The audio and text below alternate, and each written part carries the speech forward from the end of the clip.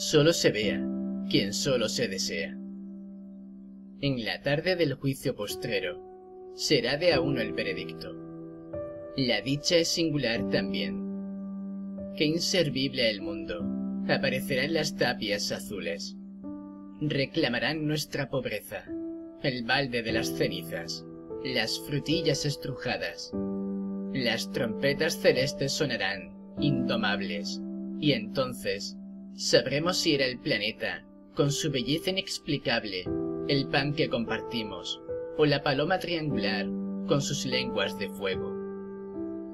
Tú, con tu historia a cuestas, tu cuenta de la compra, tu sofá de los pecados solitarios. Yo, con mi lecho vacío, mi ocaso filoso, mi pobreza opulenta, apareceré desnudo en mis arrugas, solo, continuamente solo, en el ajado espejo.